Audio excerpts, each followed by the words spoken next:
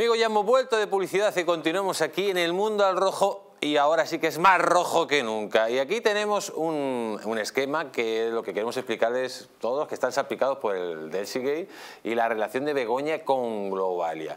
Lo cierto que lo hemos hecho muy sencillo, es verdad que eh, podríamos haber puesto una infografía con toda la esquema empresarial, pero para que ustedes vayan entendiendo todas las relaciones que hay.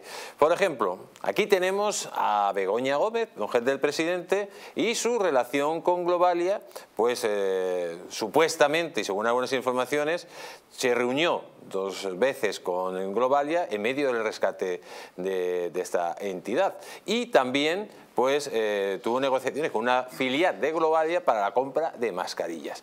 Por otro lado tenemos a Ábalos, Ábalos y Coldo, Santos Cerdá, que aquí no sale, pero tanto Ábalos y Coldo pues tienen relación con el comisionista Aldama y fueron al famoso encuentro con eh, la Desi la Fea.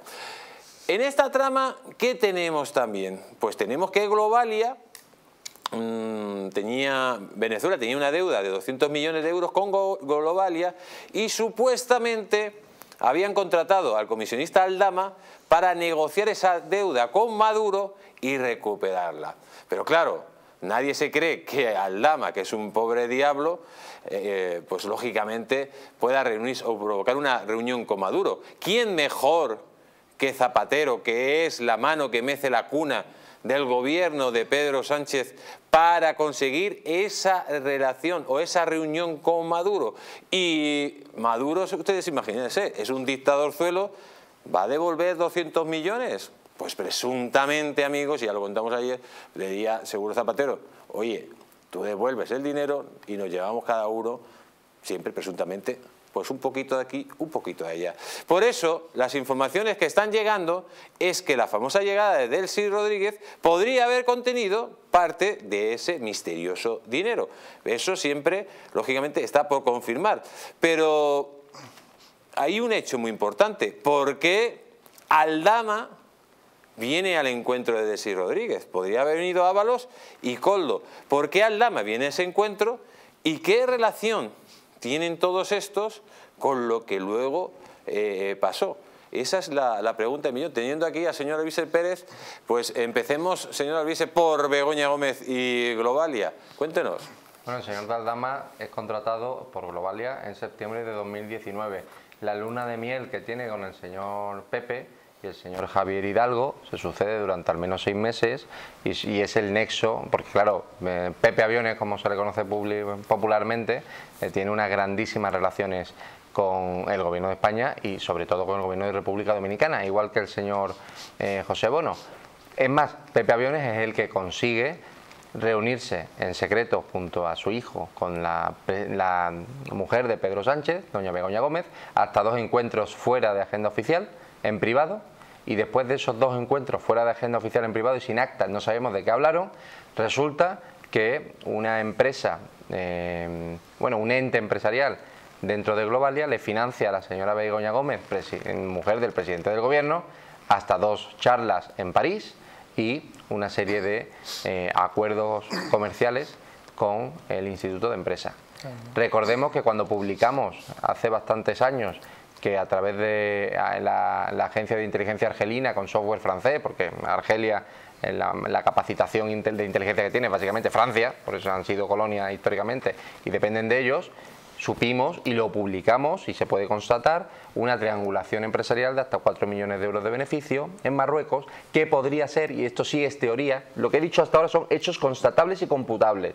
Ahora viene la teorización de los investigadores y la mía personal, que es, hubo ahí algo que hizo, uno, que Marruecos tuviera un punto de presión importante contra el gobierno de España, en concreto el presidente del gobierno de España y marido de doña Begoña Gómez, y dos, que los favores personales económicos que Globalia a través de Pepe Aviones y el señor Javier Hidalgo pudieron hacer con Begoña que implicarían directamente al presidente del gobierno. Porque, insisto, el dueño de una de las mayores compañías aéreas del planeta no se reúne con Begoña Gómez porque le guste su corte de pelo se reúne con Begoña Gómez porque es la mujer del presidente del gobierno de España. Y esto implica directamente la trama, si esto es así, al señor Pedro Sánchez. Eh, lógicamente, aquí también hay una relación con el señor Zapatero. Hombre. Zapatero, de hecho, es uno de los principales conseguidores históricos del Partido Socialista, entre otros sitios en Venezuela, y quien hace la introducción es el señor Rodríguez Zapatero. Es que Rodríguez Zapatero tiene unas relaciones excelentes con Nicolás Maduro. Nunca pudimos confirmar fehacientemente que tiene una mina de oro en Venezuela, pero obviamente la calidad de vida, el nivel de vida, nunca han salido a la luz tampoco los testaferros, presuntos testaferros del señor Zapatero. Es que es muy difícil investigar en este país con la mierda, perdonadme, de recursos que tiene la UCO, la OCA y la UDEF y la UICO. Es que no tienen apenas recursos, señores. ¿Y usted cree que, eh, lógicamente, en toda esta trama, eh, el señor Aldama no tiene capacidad eh, para provocar esa reunión con, Maduro y sobre todo que le devuelvan esos 200 millones. ¿Usted cree que puede ser el señor Aldama el testaferro que utiliza en esta operación presuntamente el señor Zapatero? Bueno, el señor Aldama es conocido en la florinata madrileña, es un conocido millonario, una serie de negocios muy rentables y muy millonarios, em, aunque lleva pues eso, un par de meses con ciertos problemas de pago porque la mayoría de, de su dinero se ha movido. Pero bueno, dicho lo cual, y además, insisto, publicamos mañana un contrato del señor Aldama en la Comunidad de Madrid que si podemos confirmar es de concesión directa eh, va a haber un problema muy grave en el Partido Popular. El señor Víctor de Aldama tiene una serie de conexiones muy buenas a nivel nacional e internacional. No tengo la más mínima duda de que el señor Víctor de Aldama es el responsable de que el país favorito de la trama fuera Luxemburgo. Ninguna duda, porque lleva viajando a Luxemburgo desde que tiene 25 o 26 años. Eh, pues, pues, vamos, el señor Víctor de Aldama es muy conocido en Madrid. Eh, que sea el testaferro o no de esta gente, pues lo desconozco. otra pregunta del millón. ¿Por qué Víctor Aldama va al encuentro con de Delcy Rodríguez? Supuestamente puede ser que venga el dinero de Venezuela para pagar esa deuda y viene a comprobarlo, lógicamente esto está por confirmar. Bueno, en ese aeropuerto entran solamente dos coches esa noche. Entra el coche del señor Víctor de Aldama, el turismo cuya matrícula publicamos hace tres años, y entra un coche de la embajada venezolana. No se sabe cuál de los dos coches coge qué número de maletas, pero el coche de la embajada de Venezuela va del aeropuerto a la embajada de Venezuela ahí no sabemos nada, y el coche de Víctor de Aldama va del aeropuerto a su casa personal, que está cerca de Puerta del Hierro. 40 maletas. 40 maletas. Eh, lógicamente, aquí hay algo que tenemos que relacionar. El señor Ábalos, Coldo y Aldama, y también Aldama con la señora Begoña Gómez y Globalia. Eh, ¿Cuál puede ser el neso de unión en la trama de las mascarillas que directamente una, eh, digamos, a Ábalos, Globalia y la señora Begoña Gómez. ¿Puede ser Aldama directamente? Bueno, si me lo pregunta a mí, yo me circunscribo a los informes financieros y a los informes del propio sumario eh, que texto, o sea, es que claro, lo que se habla o no se habla por teléfono es algo que entiendo dentro del secreto de sumario se podrá decir o no aquí pero que Víctor de Aldama contacta con Globalia a través de una persona del Partido Socialista, eso mm, lo doy como veraz y contrastable. Lo que usted afirma, no lo puedo afirmar porque no lo sé todavía. Eh, señor de los Riscos, ¿quién falta en este esquema, según usted? Este esquema, que, podría ser casi un tres en raya, yo creo que, o sea, que habría que ir situando eh, en el lado venezolano algún exministro de Zapatero. Algún ministro de Zapatero. Señor, eh, señor Luis Losada, ¿qué es ministro de Zapatero cree usted que hay que meter en este esquema? No lo sé, la verdad. Yo tengo aquí varios un esquema donde aparecen de todo, Ábalos, Marlasca, Francín, eh, Víctor Torres, eh, pero bueno, lo más llamativo, lo más fácil y más evidente es que Begoña Gómez, la mujer del presidente, tenía una cátedra en el Instituto de Empresa financiada por Globalia. resulta que Globalia recibe dinero de su marido, el presidente del gobierno. Hombre, ya es, feísimo, ¿no? Entonces, oiga, que, ya sé que la mujer no es el presidente, pero bueno, eh, eh, es la mujer. Entonces, eh, yo creo que la mujer del César tiene que ser honrada y parecerlo. Y parecerlo, la verdad es que no. Oye, ¿y los edificios del Instituto de Empresa a través de un préstamo millonario de CaixaBank, de quién es? Del dueño del Instituto de Empresa. ¿Y quién es? Bien. ¿Tiene hoy algo que ver visto de Aldama? Pues mañana en exclusivo lo publicamos. Pues, pues, señor Alvise, estamos lógicamente hablando de que falta en, esa, en, ese, en ese esquema, falta un exministro del señor Zapatero. Eh, ¿Quién puede ser? Bueno, yo puedo teorizar, y aquí sí digo presuntamente porque lo ignoro, pero quien gestiona la mayoría de papeleo legal del señor Rodríguez Zapatero es Pepiño Blanco.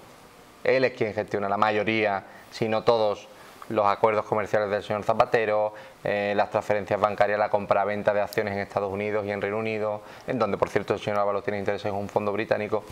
todo es el señor Pepillo Blanco porque es un hombre... Es fontanero. Es fontanero, claro. Es un hombre que lleva en la confianza de Zapatero desde hace 30 años. Eh, una pregunta. Más, eh, de hecho. ¿Hasta dónde puede llegar la, que, que Begoña Gómez esté involucrada en esto? Bueno, Begoña Gómez puede ser el nexo que necesitan los investigadores para responsabilizar judicialmente mínimo como una imposible imputación al presidente del Gobierno de España, porque lo único que justifica la presencia de Begoña Gómez ahí, lo único es obviamente la relación personal que tiene con el presidente del Gobierno. Insisto, el señor Pepe Aviones no se reúne con Begoña porque le guste su flequillo, ni el blanco de sus ojos. Se reúne con Begoña Gómez, ni porque sea la responsable del Instituto de Empresa, que fue un cargo de ad hoc para que la pobre mujer no se aburriera en Moncloa que por cierto dimitió 48 horas después de que publicáramos esta hipotética triangulación empresarial de fuentes argelinas, a los a las 48 horas de publicarlo en Telegram dimitió y los únicos que se hicieron eco fueron los medios de comunicación franceses, porque le llamaba la atención este estrambótico suceso. Em, obviamente Begoña es lo que necesitan los investigadores para implicar directamente a Pedro Sánchez. Em, ¿Usted, si entra en política, pediría una investigación de Begoña Gómez? Bueno, si yo si entro en política, las comisiones de investigación, francamente, para eso ya están los partidos muletas y para eso están los partidos blandengues, que lo llamo yo, esos pseudo venezolanos que sirven para, pues eso, comer de la sopa boba, porque ¿a qué se va a dedicar Fijó fuera de la política o la mayoría de opositores que hay en este país? A nada, a nada, y por eso están ahí mamando.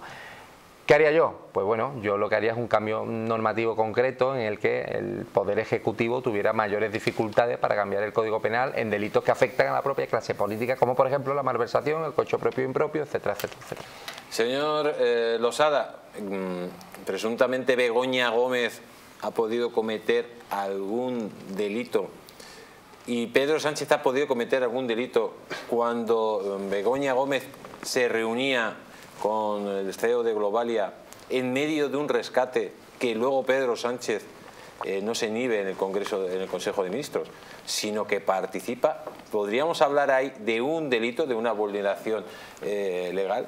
Pues en mi opinión presuntamente sí, y desde luego la imagen que da no es nada eh, positiva.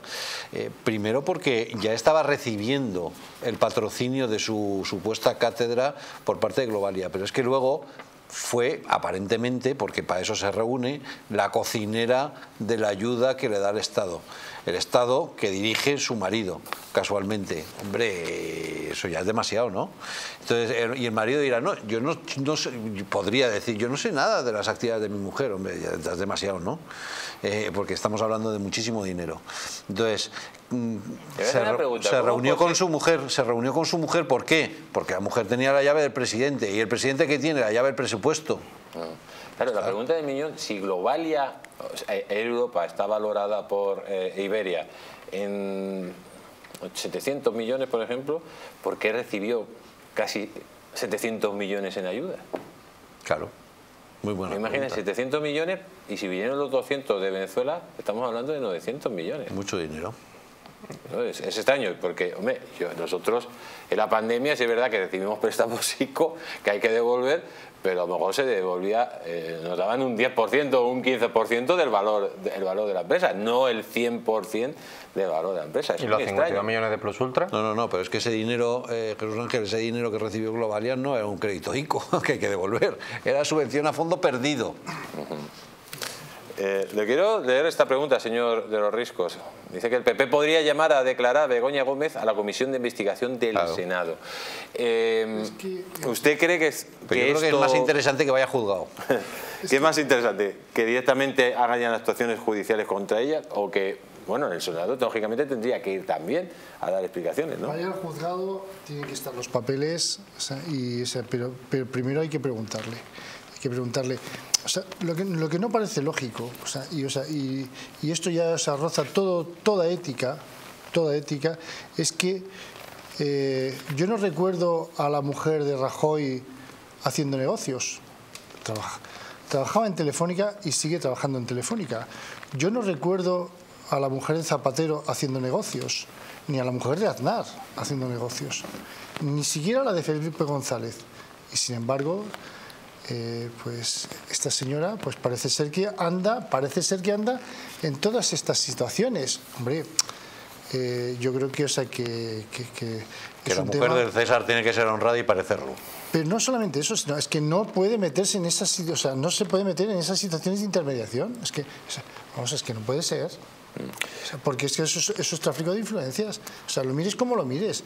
O sea, eh, es muy grave. Esto es parecido a lo de Juan Guerra. Claro, no, no, pero... pero- O peor todavía. Claro, pero es que eh, no puede ser. O sea, uno se pregunta, dice, si esto fuese o sea, la mujer de Rajoy que hiciera estas cosas, ¿qué habría pasado? Manifestaciones en la calle.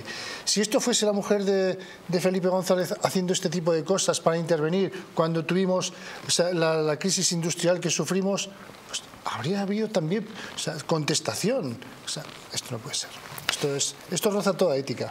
Pues voy a leer una noticia para ver eh, qué les parece a todos ustedes, porque ética ninguna. Y ojo que la implicación de Begoña, las noticias cada vez indica más, que hay más indicios que esta señora puede estar implicado en algo muy gordo. Dice, un proyecto de telefarmacia, atención, que implicaba a correos, entre los presentados a Begoña por el comisionista de Coldo.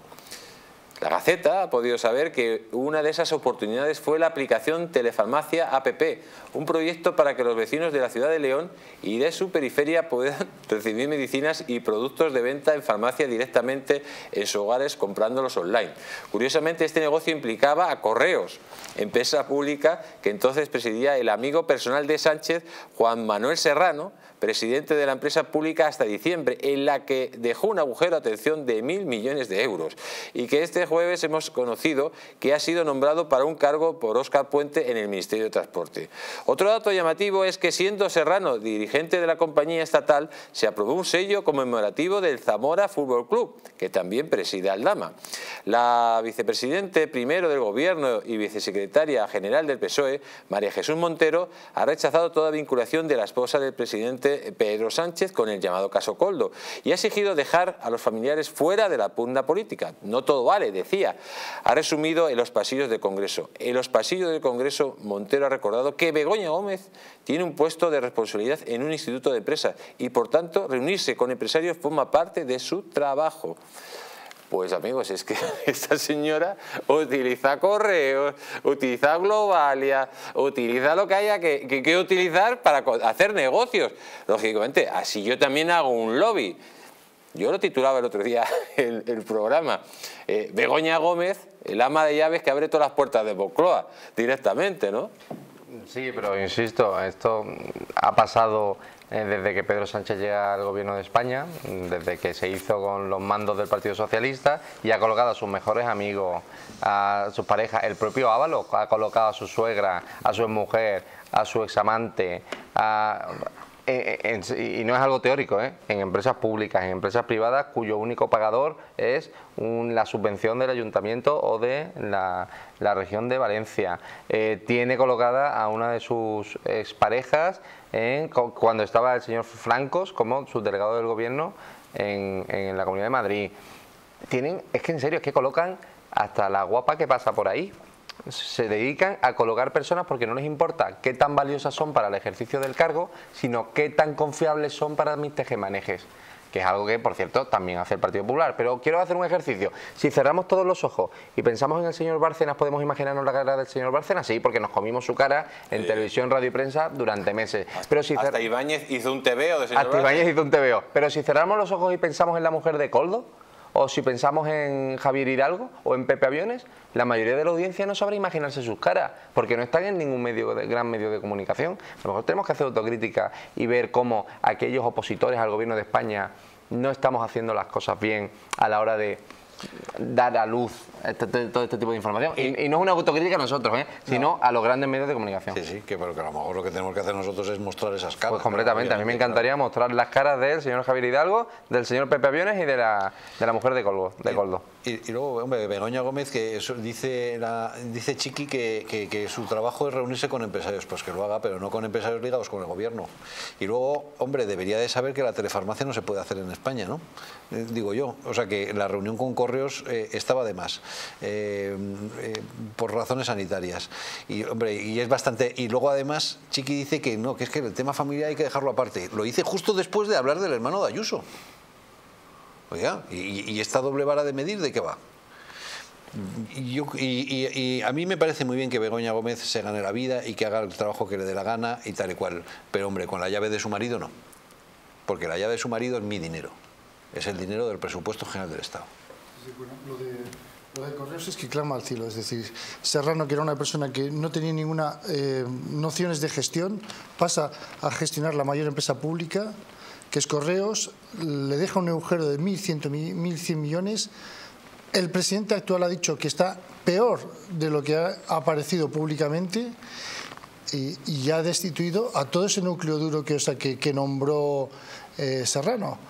Bueno, eh, lo de Serrano habría que revisar ciertas cuentas eh, y ciertos negocios que, o sea, que, que intentaron abrirse en Panamá. ¿eh? Y habría que investigarlo bastante a fondo, porque, o sea, porque eh, seguramente a lo mejor vendríamos algunas conexiones que pudieran estar ahí Con las mascarillas. O con alguno de, la- de los que hemos puesto ahí.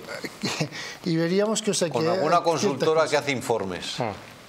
O, personas que están muy vinculadas, veríamos que, o sea, que, esas Pero conexiones. oye, hay un delito que se llama administración desleal. O sea, si yo cojo una empresa y la dejo con mil millones de deuda con una gestión nefasta, yo voy a la cárcel. Pero claro, si es el presidente de Correos, no.